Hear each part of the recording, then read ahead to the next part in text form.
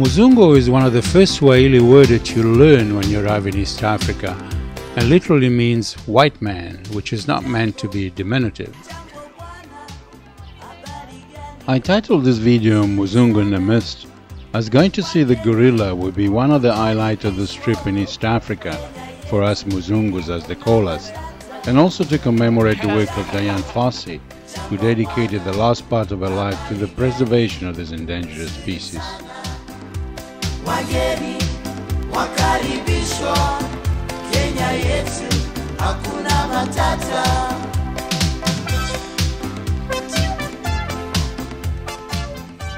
Whether you choose to visit East Africa just because you always dreamed about trekking on the Kilimanjaro, or tracking the gorilla on the equatorial forest, or observing the migration of millions of animals in an endless search of fresh grassland in the plain of the Serengeti, you'll be amazed now this part of Africa is still going to surprise and fascinate you.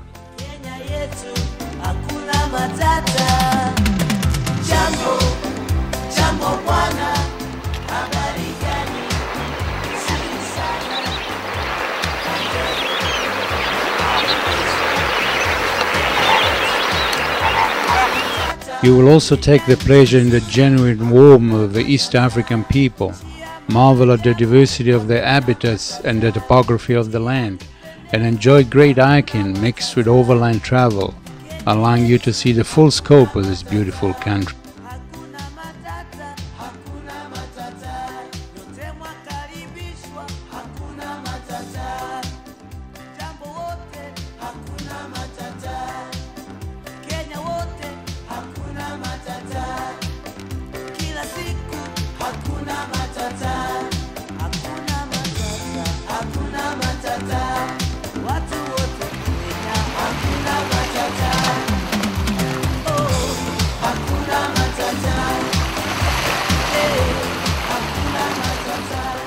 East Africa is where you find the source of the river Nile, the longest river in the world. Here is where the, almost any one lake you could gasp at the sight of a million flamingos. It is here where the proud tribe of the Maasai live their traditional pastoral life, and it is here where the crater of Colossus Stint volcano offer you one of the most spectacular wildlife scenery in the world.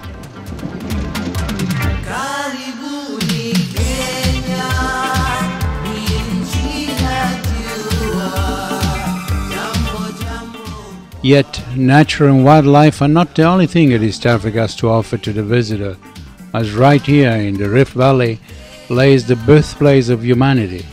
The discovery of several hominoid skulls now leaves little doubt that East Africa, if not Kenya, is where ancestral apes evolved into hominids, then into human beings, and eventually into the aggressive species that would dominate and now even threatens our own planet.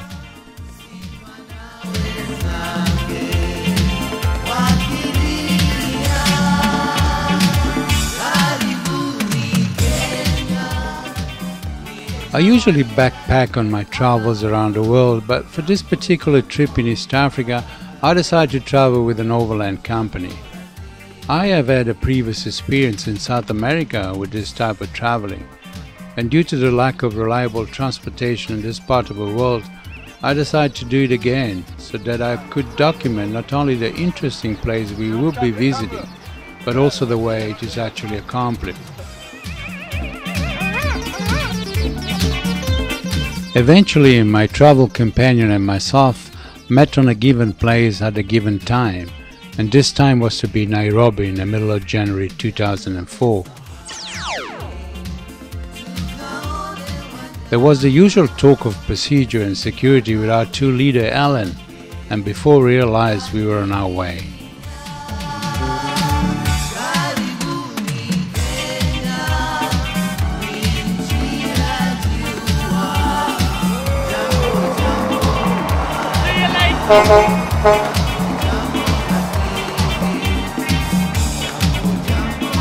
With our good truck, we quickly made it to the escarpment of the Rift Valley, which view across Mount Longonot and a Stint volcano and the Maasai Plain are simply stunning.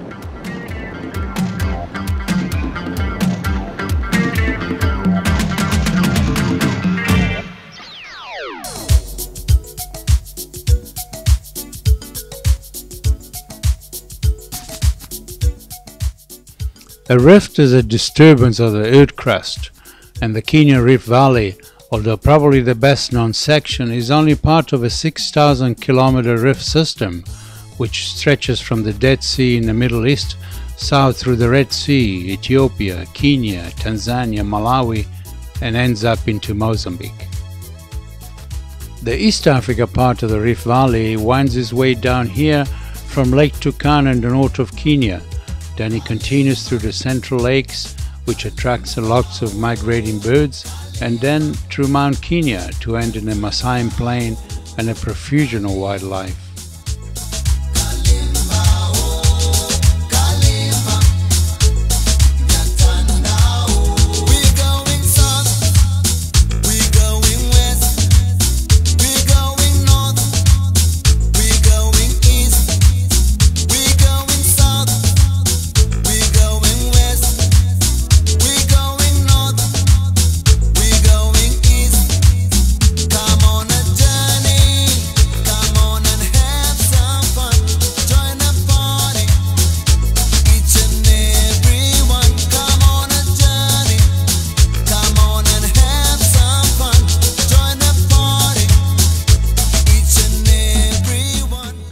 We then continue on what will be our first camp on the edge of Lake Nakuru National Park.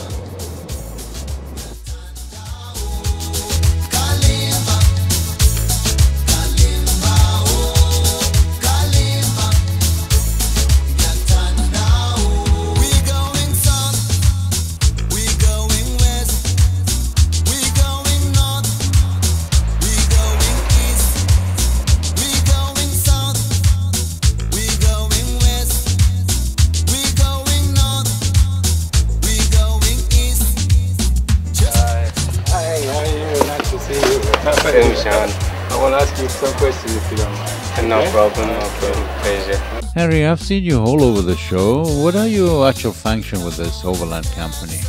Well, uh, I'm a driver and a tour leader, but on this trip we are two because uh, we're gonna pick another truck in Nairobi and drive all the way to Cape Town. Harry, I understand you're a Kenyan and belongs to the proud Kikuyu tribe. What does make uh, you choose this type of work? And this goes back to my my school primary when I was in school, and a friend of mine left school and went and joined an overland company. And then I thought it was a wonderful opportunity for me to go and travel, meet people, and sell my country. Wonderful. Yeah. Harry, tell me, what is the spirit of this type of traveling? What are the people looking when they join a truck like yours? I think the people take this form of traveling because the company supplies the transport, equipment, and the know-how of the region. I also think they, they like sharing the experience with other people and not doing it by themselves. Harry, are you worried that this type of traveling is invasive and somehow will alter the culture of your country? Yes, there is a danger. But if we handle or handle properly, we could still keep tourism as a source of income and still retain our tradition and culture. Thank you very much. That was very nice. Thank you, Mr. Good luck in your job. Thank and I hope so everything much. goes well for you. Thank you very much. As the travelers, we in turn have the task of shopping for foods, preparing the daily meals, washing up, uh, looking after the equipment, and keeping the truck reasonably clean. Sleeping is done in tents, also provided by the company, and naturally we have to look after our belongings and maintain a certain dignity.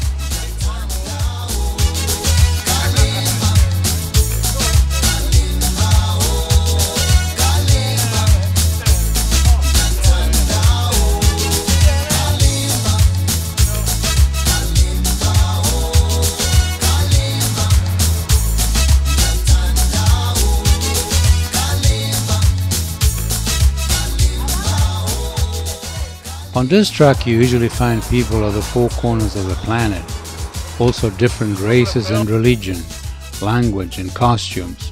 Some are inexperienced and others are often seasoned travelers. You have to organize one and perhaps not so organized. The late comers, the meticulous and the casual. Peter, for instance, was particularly ever fighting with his backpack. In this particular group, uh, the English language alone is spoken, as most of the participants are from Australia, New Zealand, and England, to which I'm the only Italian exception. We all get along fine where courtesy, patience, and good education is commonplace.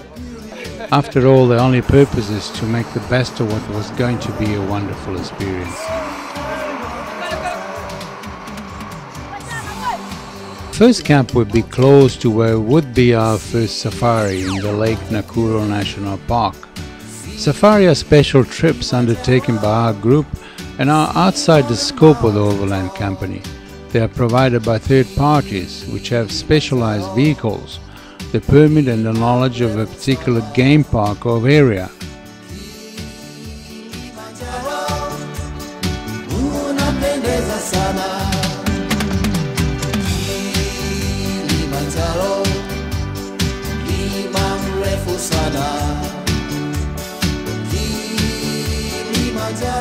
Lake Nakuru is an ornithologist's paradise with over 400 species of birds.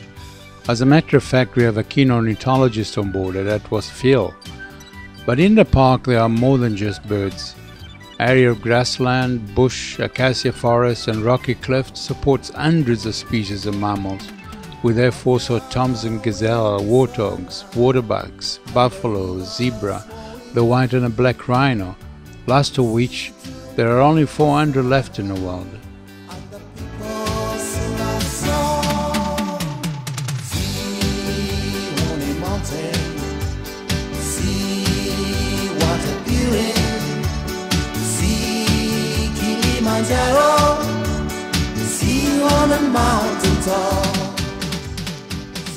Usually, when you approach all animals along the trail, they tend to shy away, turning their back onto you.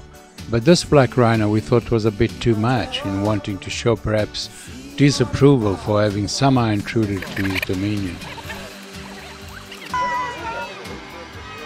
After the stunning experience of Lake Nakuru National Park, we entered Uganda and driving towards Jinja on the shores of Lake Victoria, we stopped to take a group photos on the line of the equator.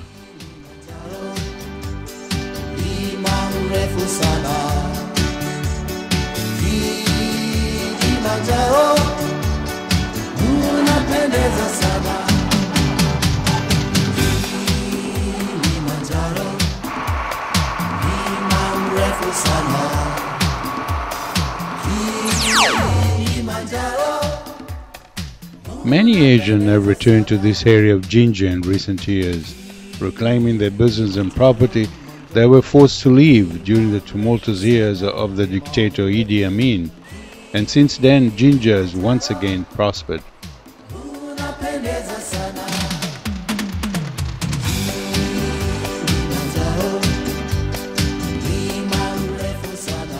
But for us, Jinja was an important destination, being the source of the river Nile. The Nile for centuries has been the world's most intriguing and geographic enigma. Roman legionaries, Portuguese Jesuit, eccentric Scots, and erudite Frenchmen and Italian all tried in vain to reveal the great river's secret of its sources, but were defeated by impassable swamps or diverted along the wrong branches. It was not until the mid 19th century that the mystery was eventually resolved through the tenacious efforts of the British explorer.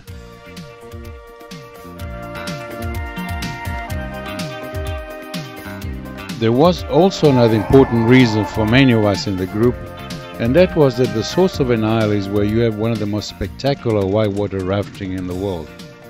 Although we camped in Jinja, we were pressed for time as our leader and made arrangement to see the gorilla in a few days ahead, so that for us, the water rafting experience uh, will still have to wait a few more days.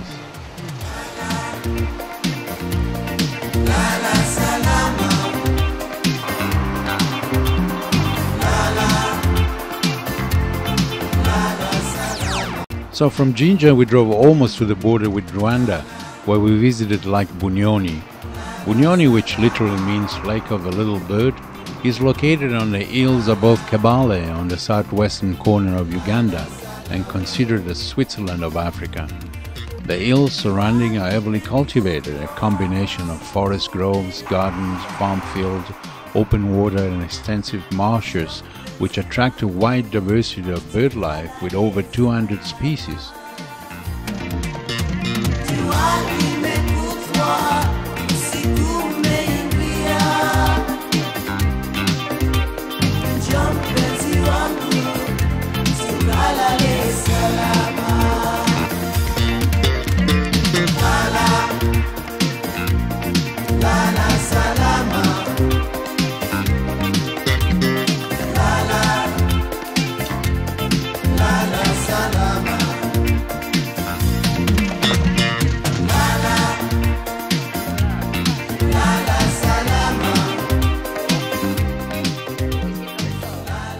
Bunyonyi Overland Camp offered us a base to explore the lake, and it was a wonderful stopover on our way to the mountain gorilla. We hired out uh, dugout canoes in the morning and were happy to escape across the lake, having plenty of adventure. At night time, the lake rewards you with flashing fireflies, a loud chorus of crickets and frogs, swooping bats, and nocturnal birds.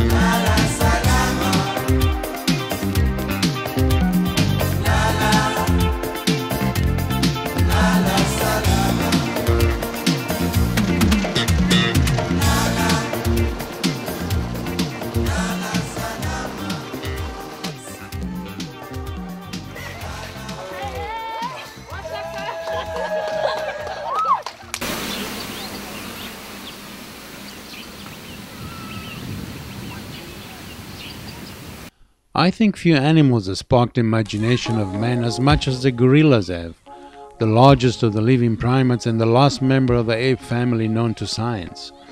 The following morning we had a very early start, and there was in fact great excitement in the air, as for some this was the highlight of the whole trip. We quickly cleared custom at the border of Rwanda, as we were expected at 9 o'clock at the Volcano National Park base camp, from where we would be eventually escorted to see the gorillas. The Volcano National Park is named after a chain of eight volcanoes known as the Virunga volcanoes, forming part of a border between Rwanda, Uganda, and the Democratic Republic of Congo. The spectacular mountains are the last refuge of the endangered mountain gorilla. It was also here that Dian Fossey studied a gorilla for 20 years, and it's largely thanks to her work that poaching was gracefully reduced while there was still some gorilla to save. The film about her life and work, Gorilla in the Mist, was also shot here, and some say this is the place to come for the most authentic gorilla experience.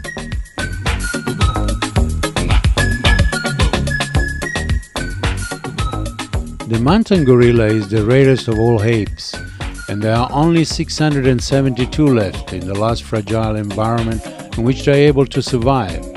They have never been successfully brought up in captivity, and there are none presently in zoos.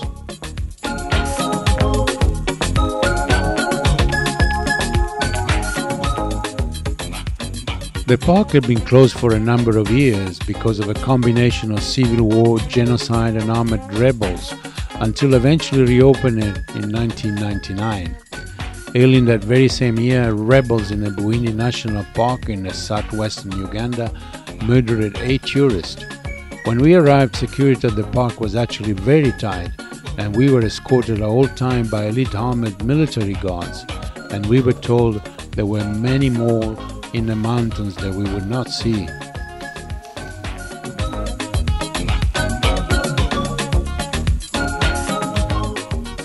Only a few of these gorilla have been habituated for human to visit, which makes tracking these elusive apes both a privilege and exhilarating experience. We know we will have to be prepared to hike through some rugged country, steep hills, thorny trees, and tangled vines. Thinking that you will be sitting only a few feet away from a 300 pound gorilla in the undergrowth, it was already a spine tingling experience.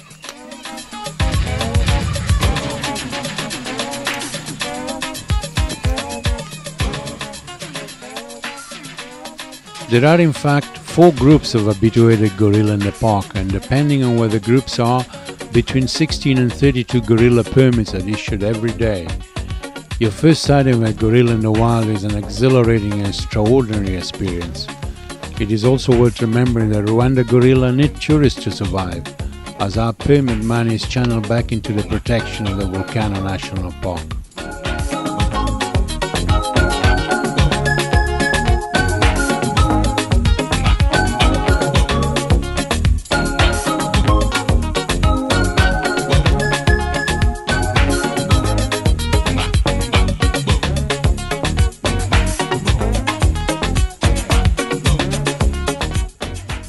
Gorillas continually wander through the home range of between 10 and 15 square miles, feeding and resting throughout the day. Because gorilla are nomadic, they build new nests each day at dusk, constructing them of bent branches in a tree or of grasses on the ground.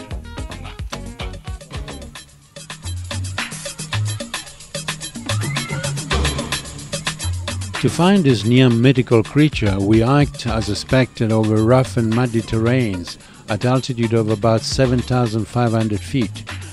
Once we were amongst them, the rigor of the hike are quickly forgotten, and we become absorbed in quiet observation of the clan and family interaction.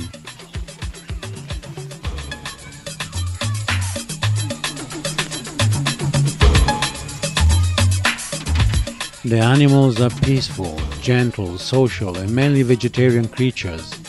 The biggest and the stronger mature male gorilla, often the guy that does the chest pounding or charging, leads the typical group. He's called a silverback because of the hair of his back that turns from black to silvery gray as he matures between the age of 11 and 13 years. A silverback group normally includes a subadult male or two and a few females and the youngs.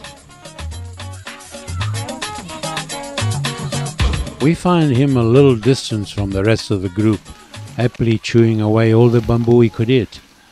What struck you most is the absolute indifference to our group of keen photographers, branding all sort of cameras and lenses.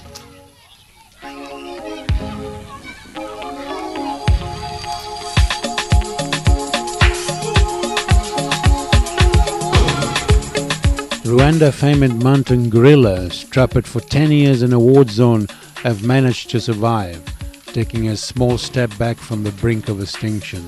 Over the past decades, in fact, Rwanda gorilla population has increased by a remarkable 10%, despite an horrific human genocide, incursion in the park by armed rebels, human spread disease, occasional poaching, government appeal, and constant pressure from the love-starved peasant that grows the potatoes less than a short walk from the gorilla sanctuary.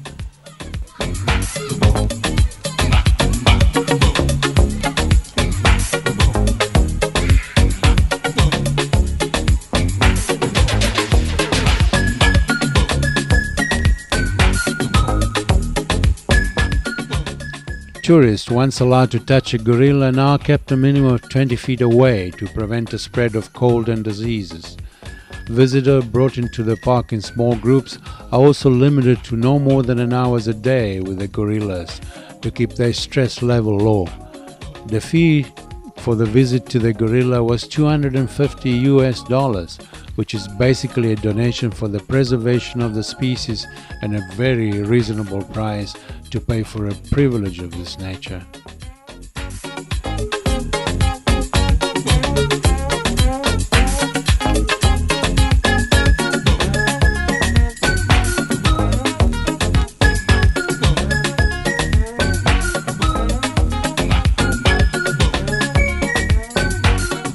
With the gorilla safari accomplished, we could now look forward to Jinja and the perspective of being soon in one of the best rafting waters in the world. On the way, we visit Kampala.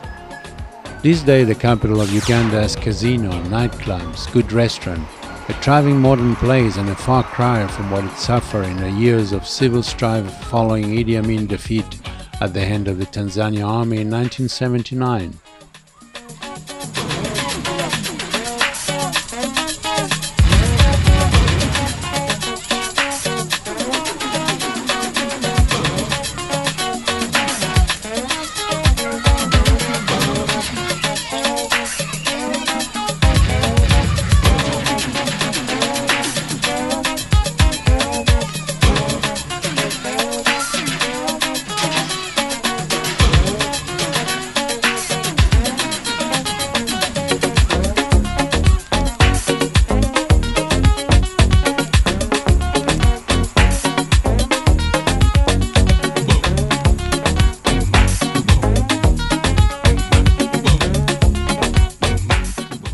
Is considered by many one of the best camping ground in Africa. Perched at the top of an embankment, the camping ground overlooks a number of bends in the River Nile with Great Five rapids.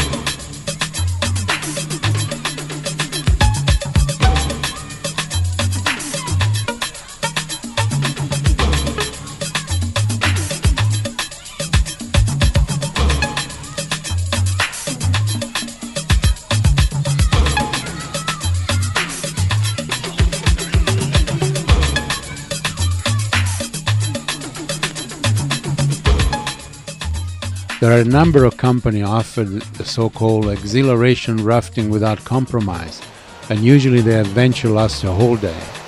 the longest river in the world, the Nile starts its 6,600 kilometer journey to the Mediterranean right here on the shore of Lake Victoria.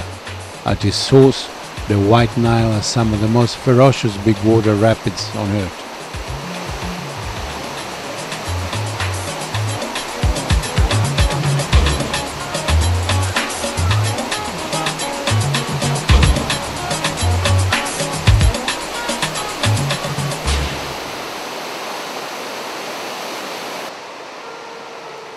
This is not just an old river. This is the ancient Nile, more than a mile wide in places, a roaring, backing, wide and tagging liquid snake forging its way through the great African Rift Valley. After hundreds of kilometers thundering between heavily forested islands, the White Nile has up to 10 times the volume of the Zambezi River. It leaves the great islands of East Africa behind to carve a great curve through the arid wastes of Sudan and Egypt, eventually gushing into the warm water of the Mediterranean Sea at Alexandria.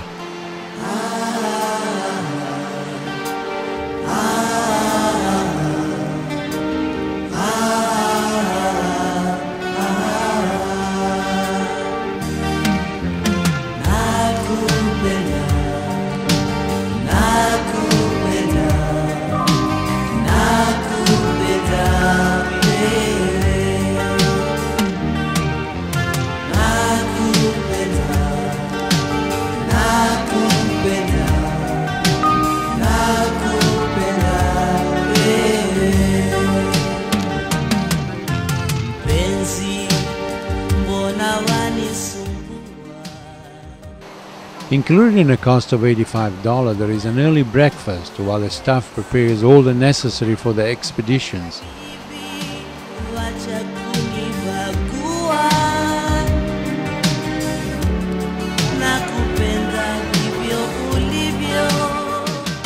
The raft are then loaded, the equipment checked, and eventually all the participants are driven to the river.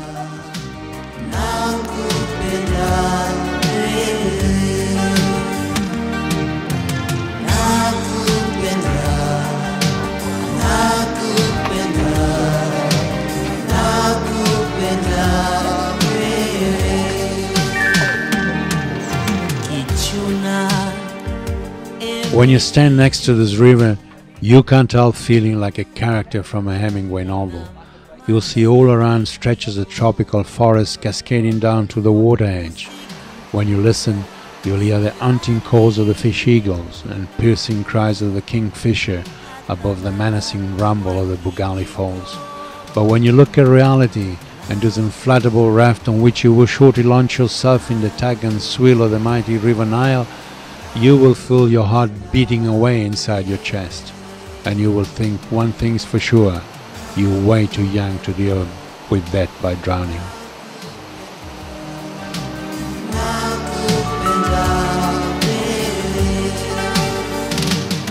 We are fitted with a chest protection and flotation courtesy of a padded life jacket, a helmet to guard against skull fractures, and fins to speed away from dangers. Our skipper Rob claimed that if he were to design a whitewater run for commercial rafting, he could not do any better than the stretch of an Nile. The river is wide and most importantly deep. Challenging series of rapids are linked by tranquil stretches of river over a 30 kilometer stretch. Two intense class 5 rapids span roughly near the beginning of the journey and then give way to relative mellow class 4 and 3s for the most of the afternoon but the best or the worst depending on how you look at it is saved for last a class 5 nightmare known as the bad place. But it is too late to chicken out now. The gears are distributed and all instructions pass it on. 23 life jackets whole listening attentively to the nile river explorer guy rattling off with a heavy south african accent an alarming list of things that could go wrong if we don't move our asses right away. One more runs through the emergency procedure and then we launch, first practicing artillery in the safety of the flat water section below the dam wall, where the skipper will demonstrate how to pull you back into the raft. five or ten dollars extra for being thumped around in the water. Trust your life jacket. The life jacket will rocket you up.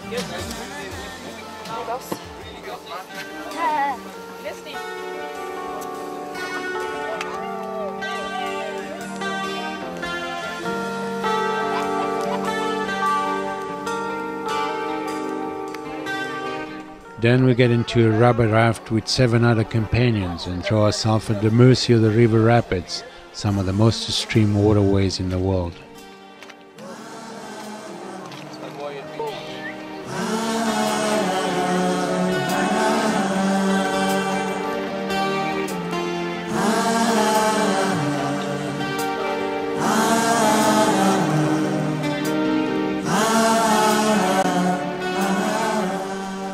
But it's not going to be all adrenaline pumping actions. While on the river, you'll also get a chance to see the local wildlife, which includes hippos at times and a variety of birds. You will also have the chance to have a swim in some of the calmer stretches of water.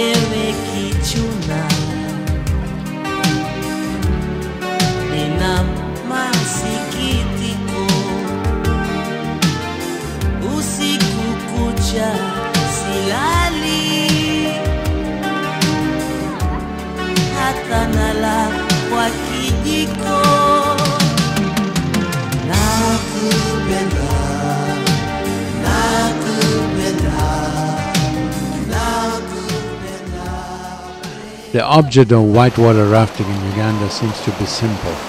Flip the raft as often as possible. And judged by the standard, we succeeded mightily also thanks to Sean, our truck driver that went down with us.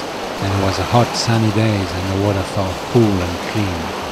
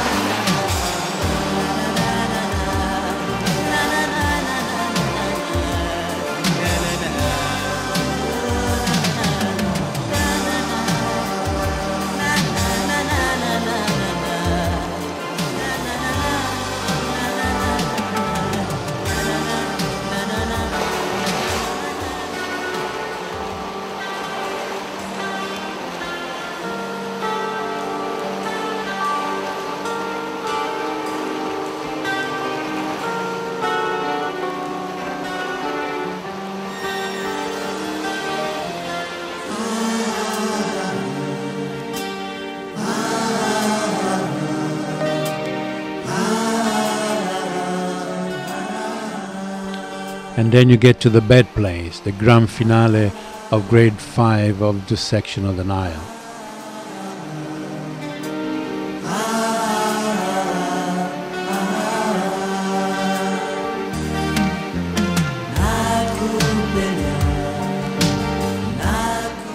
We paddle ferociously, surging into a liquid fast lane as the mighty river sinks its teeth into us, our shout drowned by the approaching thunder. Nothing really prepares you for the fury of the bad place though. The explosion of foams as you launch off the first wave and the deafening roars of the rapids as it thumps into you with its full brute force.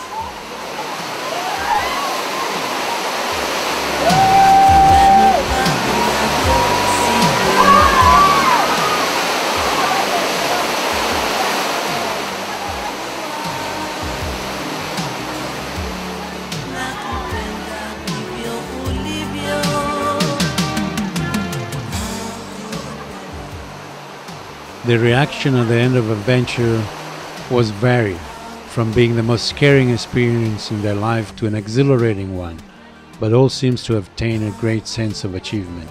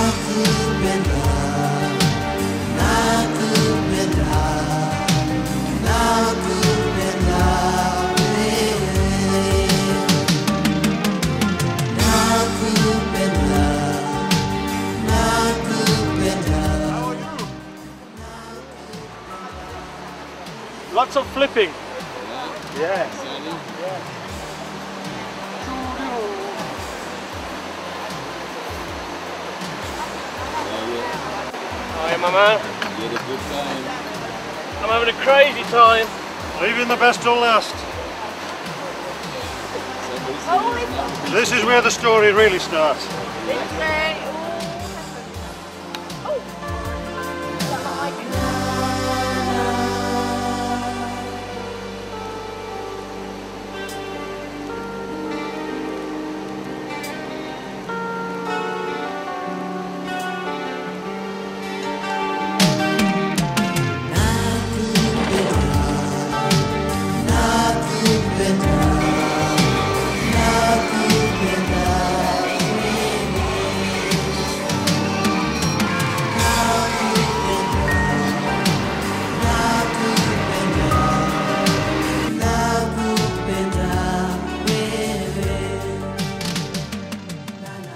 In Jinja, we find an admirable initiative uh, created and funded by all the overland companies that operates in the area. A preschool for 120 little orphan children. Staffed by all volunteers, we talked to the principal. uh, five brilliant volunteers and, uh, and they've been working for the last three weeks on this particular site and already it's a school that's up and running. It's a preschool for orphans for 120 little ones between four and five years old and uh, school starts in about another 10 days. What we wanted to do now with this particular site is put in a new concrete floor outside in the back and they put in a new roof they're going to put in, or they put in a beautiful flower bed. We've got mural in the back. We've got new posts. Um, yeah, it's all a go really. And well, very impressed. They've done a brilliant job, and we've had the local guys helping as well. Isa, we've had Stephen, and they've put their backs into it. So yeah, happy days really. Now we hardly have been two weeks in our trip, and we felt that beside having had a lot of fun amongst ourselves, we have already packed what for others could be a lifetime experience. When we returned at the camp, we had a special performance put up for us by some local children and the leader acrobat.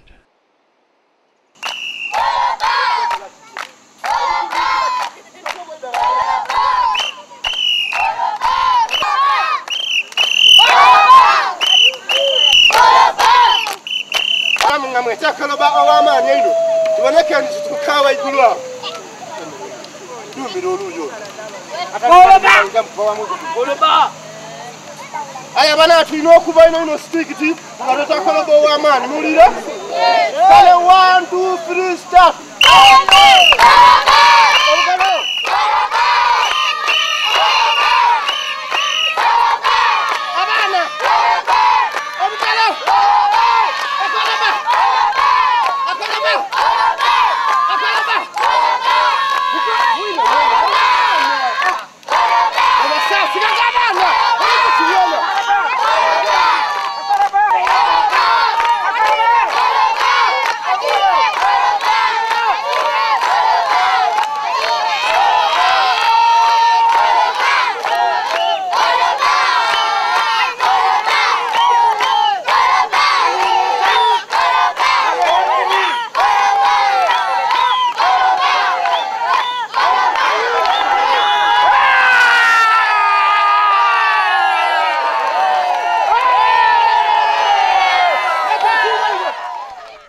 We had seen the breathtaking Rift Valley, crossed most to Kenya, visited the magnificent park of Nakuru, experienced a priceless visit to the mountain gorilla, and we water rafted in the greatest river in the world and on one of the best and safe white water there are.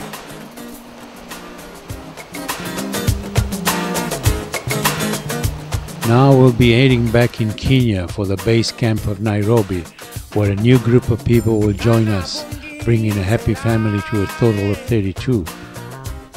For that, we will have an additional truck that will share the way until Arusha in Tanzania. This is normal. Uh, most overland companies run their trip from the top to the bottom of Africa, dividing them into stretches, whereas you have people hopping on and getting off the truck all the time.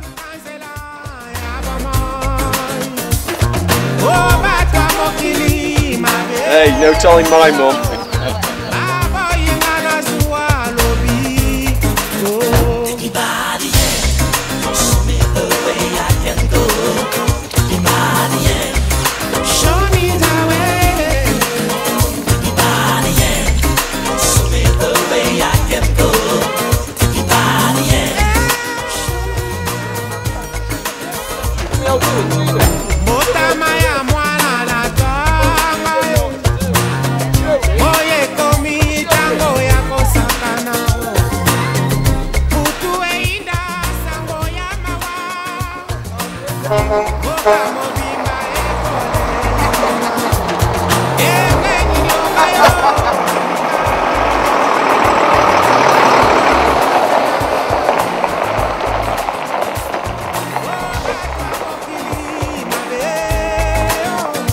Refurbished and rest for a day, we were now off again.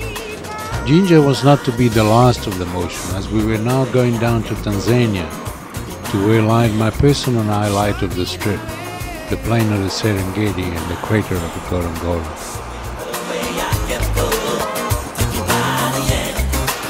As we were drying down from Nairobi, the vegetation all around us changed from what was to be all lush and green to a drier one, characterized by the famous acacia trees. As we crossed into Tanzania, my feeling was that I reached the pristine Africa I dreamed of, unspoiled and with the nature reflected idea I had of Africa.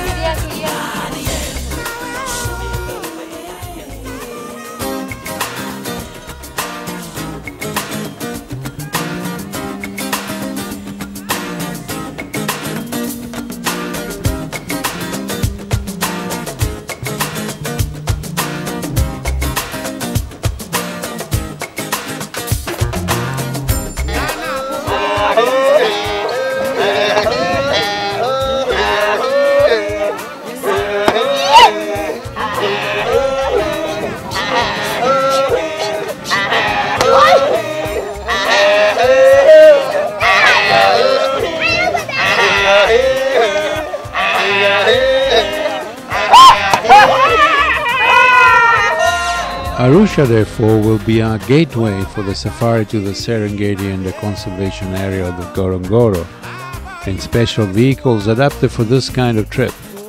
This campsite was also very nice and placed in a suggestive environment. The bar naturally was the most frequented one and the two meals we had before and after the safari were absolutely excellent. Then morning came and almost without being able to contain all our excitement, we were away to the Serengeti. It would be a long drive of between 500 and 600 kilometers, which was going to bring us right in the middle of the game park. The safari arrangement included the meals, and that meant that for three days we would not have to cook for ourselves, which was a relief. Since we left Kenya, we had been surprised how good the roads were in Tanzania. But even more now with the construction of this new tarmac road that leads to the three key wildlife park of Lake Manyara, Ngorongoro Crater and the Serengeti National Park. The new asphalt road will be completed in three to four years and will be an enormous boost to marketing destination in Tanzania. Funded with the help of a grant from the Japanese government, will be the lifeline for tourism in the Northern Circuit and will go a long way to increasing tourist comfort and reducing vehicles' operating costs. The nights in the park are spent in the open, without protection. We were told not to wander outside of a tent at night, as it wasn't uncommon to be visited by buffalo, hyena, and lions snooping around for food. As a matter of fact, even before we went to bed, we heard lions' roars, which seems pretty close for our liking. The name Serengeti comes from the Maasai language and appropriately means an extended place. It lies between the shores of Lake Victoria in the west, Lake Eyasi in the south, and the Great Rift Valley to the east. As such, it offers the most complex and least disturbed ecosystem on Earth.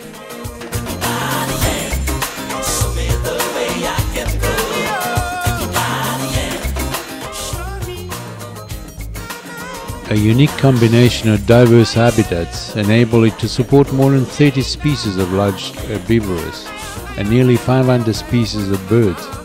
Its landscape, originally formed by volcano activities, has been sculptured by the constant action of the wind, the rain and the sun.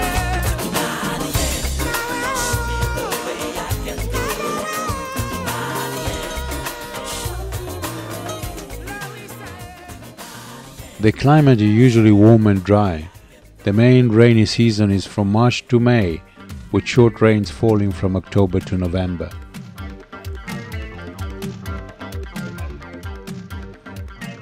For centuries, the vast wilderness of the Serengeti Plains remained virtually uninhabited. But about 100 years ago, the nomadic Maasai came down from the north with their cattle.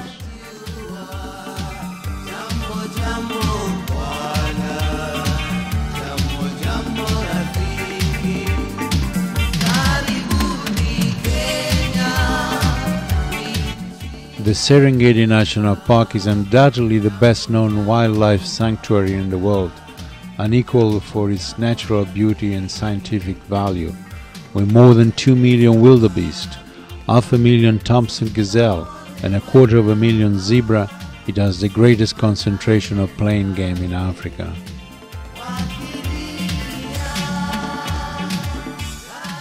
Open grass plains during the rainy months from November to May hundreds of thousands of wildebeest and zebra congregate. Towards the end of May, when the grass becomes dry and exhausted, the wildebeest start to mass in huge armies. All is far from peaceful, for it is the rutting season and each male tries to establish a stamping ground.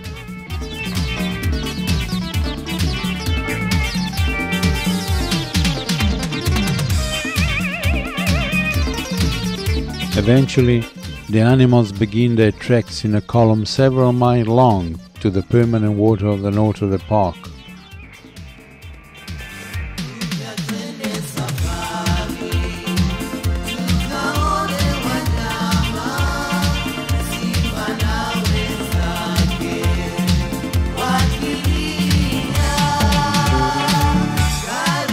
The zebra also joined the migration, maintaining their family unit of about a dozen members, each with a dominant stallion.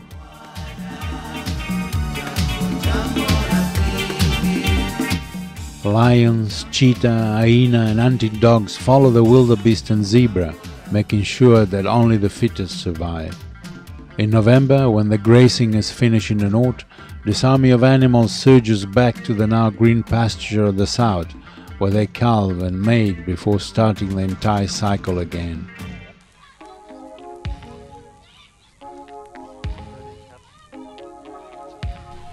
Apart from the rhino, which have been decimated by the poachers, and the hunting dogs, which are slowly declining, the Serengeti is alive and well. The wildebeest and the buffalo population have multiplied, benefiting the main predators, the lion, the cheetahs, and the hyenas. The Serengeti is especially famous for its lion, of which many have collars fitted with transmitters so their movement can be studied and their location tracked.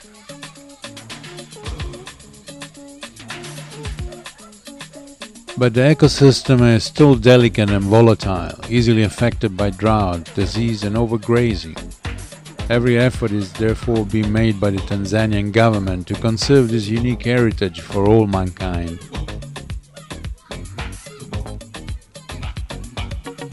Tanzania has also its own good share of archaeological sites. Most interesting is the Olduvai Gorge, located in the eastern Serengeti Plains. The gorge is a very steep-sided ravine, roughly 30 miles long and 295 feet deep, known as the cradle of mankind. Interest arose in the site in 1911 when a German scientist discovered the gorge when looking for butterflies and accidentally fell upon the skull of what is now commonly known as the Nutcracker Man, a 2.3 million years old human relative known as Homo erectus and footstep dating back 3 million years.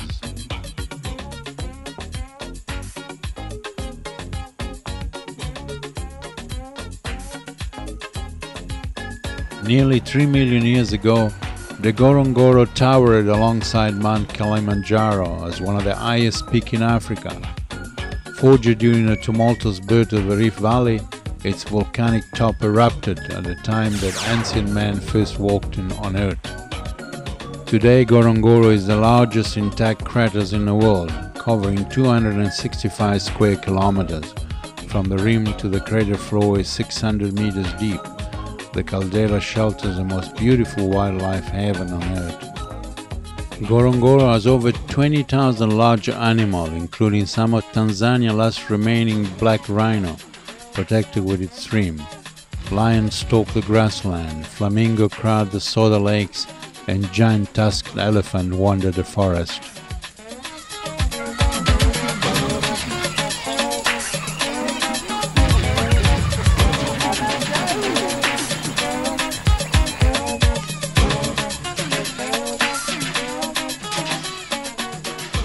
Animals are free to leave or enter the crater, but most of them stay because of the plentiful water and food available on the crater floor throughout the year. Some of the other species are mainly wildebeest, zebra, buffalo, and gazelles. All these animals in turn support large predators such as the lion, the leopard, and scavengers such as the hyena and the jackal.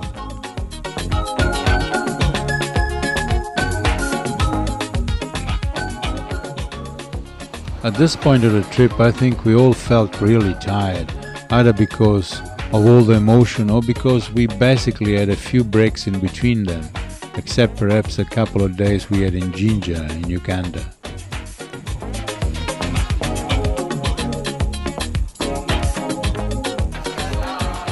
So the idea that our next destination would be the island of Zanzibar helped us to endure the long marathon ahead of us in order to reach from Arusha the shores of the Indian Ocean at Dar es Salaam, the capital of Tanzania.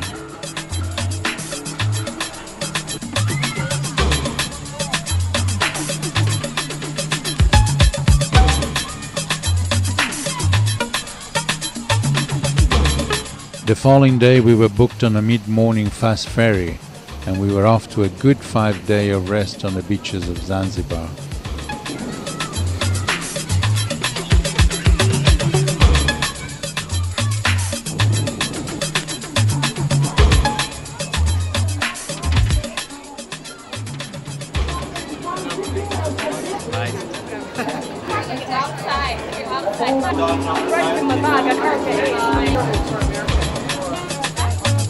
Zanzibar is an archipelago made up mostly of Zanzibar and Pemba Islands and several islets in between. It is located in the Indian Ocean about 25 miles from the Tanzanian coast and 6 degrees south of the equator. Zanzibar Island is 60 miles long and 20 miles wide and is characterized by beautiful sandy beaches with fringing coral reef and the magic of history of Stone Town.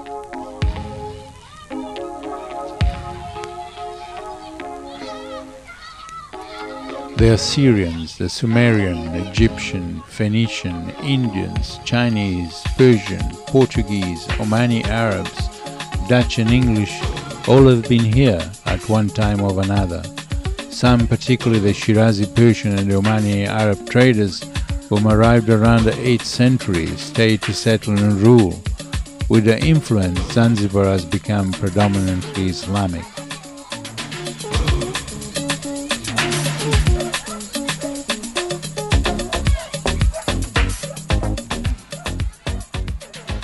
Zanzibar local people are therefore an incredible mixture of ethnic backgrounds, indicative of their colorful history. Population is estimated at 800,000, with the largest concentration being in Stone Town, which has approximately 100,000 inhabitants. Zanzibari speak Swahili, a language that is spoken extensively in East Africa. Many believe that the purest form is spoken right here, as it is the birthplace of the language.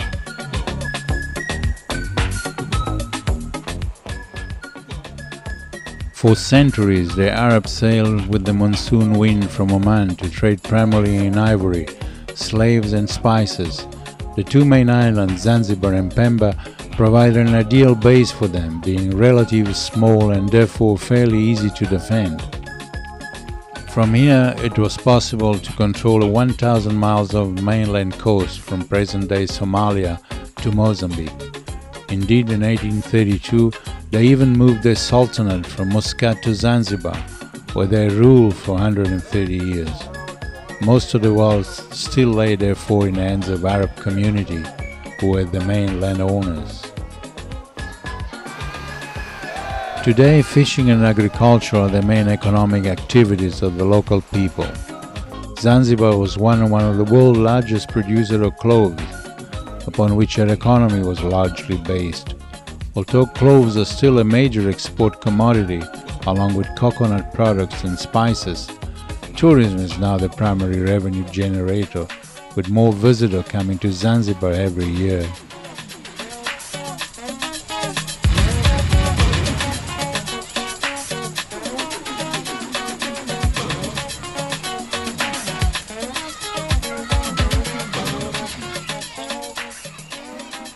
May not have a particularly romantic name, but Stone Town is the old city and cultural heart of Zanzibar, which has changed little in the last 200 years.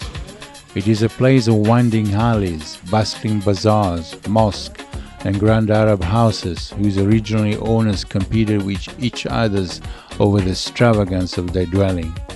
This is particularly reflected in the brass-studded, carved wooden doors there are more than 500 different examples of this craftsmanship. You can spend many idle hours and days just wandering through the fascinating maze of narrow streets and alleyways.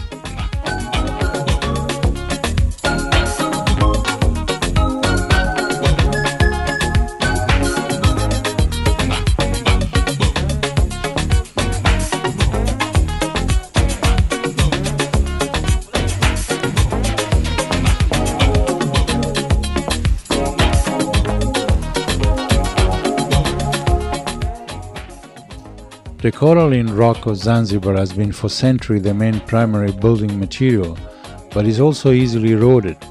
This is evident by the large number of houses that are in a bad state of repair. Some buildings have already been renovated and the Stone Town Conservation Authority has been established to cooperate for the restoration of the town to its original magnificence.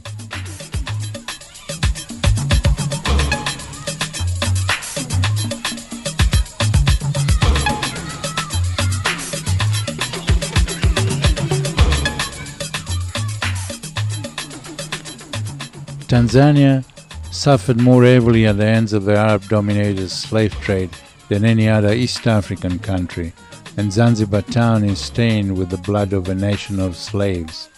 Over the years, the slave, the ivory trades were to become the main sources of income to the merchant of Mombasa and Zanzibar.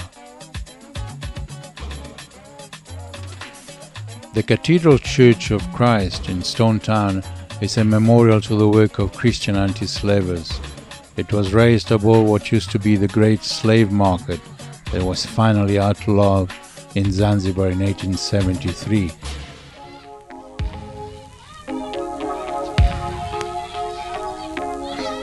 The altar was built on the site of an auction block, and the circle marks the point where slaves were tied to the tree and beaten.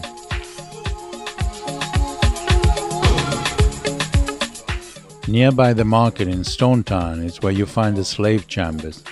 This is a terrible place where the slaves were kept before they were taken to the market, and the site of one of the greatest human atrocity ever, lasting a staggering thousand years throughout modern history. The Arab slave traders would take over a hundred women and children and pack them like sardines into this tiny room. Most of them would die because of suffocation. It is estimated that only 6% of the slaves survived from capture to market.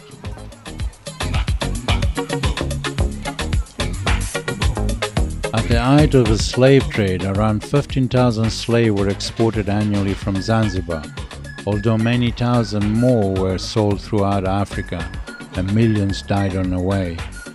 The slave serves different purposes, from becoming porters of ivory trade to laborers on clove plantation, and women sold as sex slave.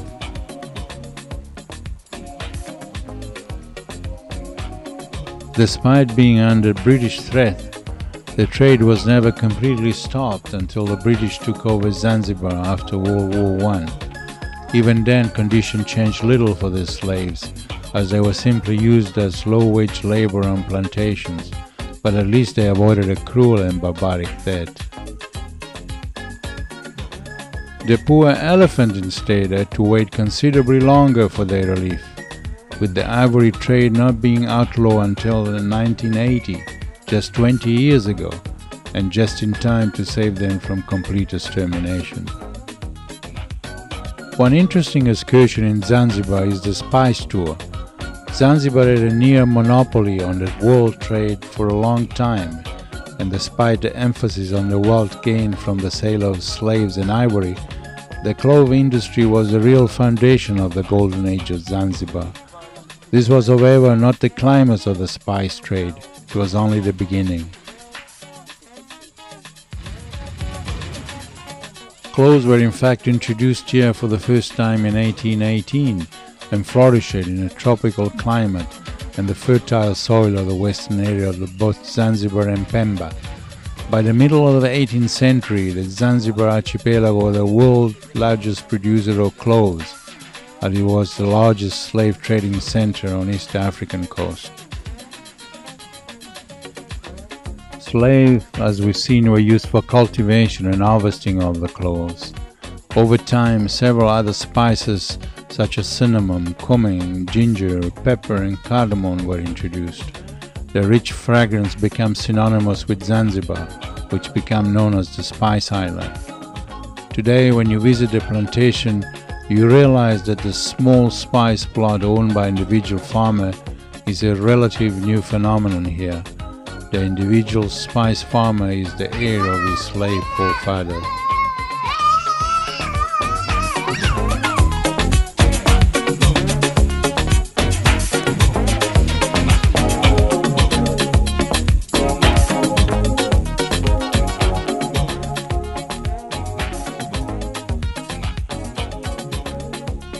The beaches in Zanzibar are nothing short of a paradise, nestled between picturesque fishing villages where the people still live a simple way of life unchanged over the years. There are more than 25 fantastic beaches in Zanzibar, and some are so peaceful and remote that only the noise breaking the silence is likely to be ocean.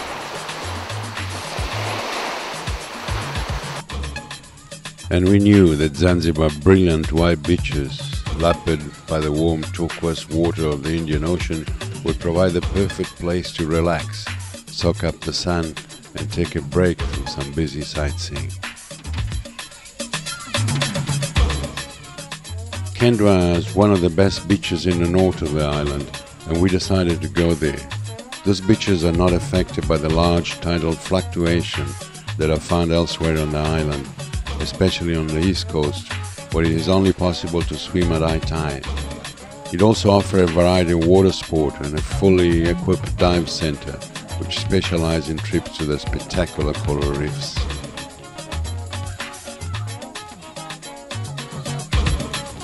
The beaches at Kendwa are packed with lots of bungalows and restaurants lining the waterfronts.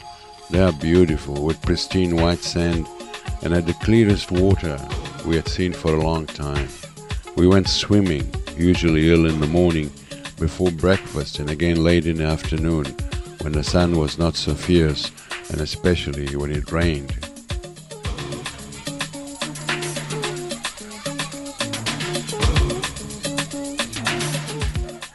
Well, unfortunately, the sight of those paradisiacal beaches also marked the end, at least for some of us, to our overland traveling that, judging by the commentaries, just everybody loved.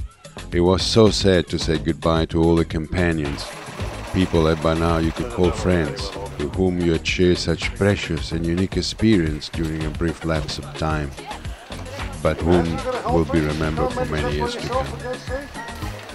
Why? English or American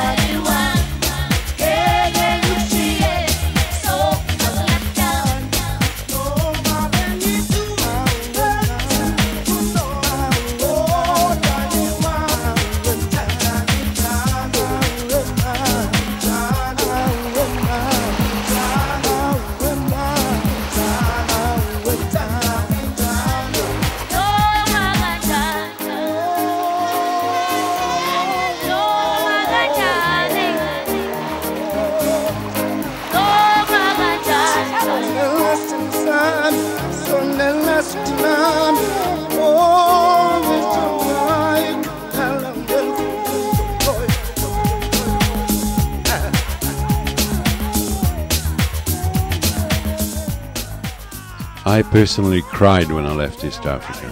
After four weeks on the continent, I had become attached to the rhythm of Africa, to the simple way of happiness of the people. There is a certain satisfaction of surviving without lights and running water and the modern convenience that we all take for granted at home. I yearn for the peace that is evident in so many ways in Africa. Not everything is handed to you there, it is earned and therefore is so much more valued. I'm still processing a lot of what I saw, what I felt, heard, and tasted. There are many more details and experience that I can share with anyone thinking about going, but there are also things that you must learn for yourself, feel with your own heart. My joy is to show you this video from a safe and comfortable place so that you could have an opportunity to share, to understand what I experienced and maybe one day be fortunate enough to witness this miracle in person.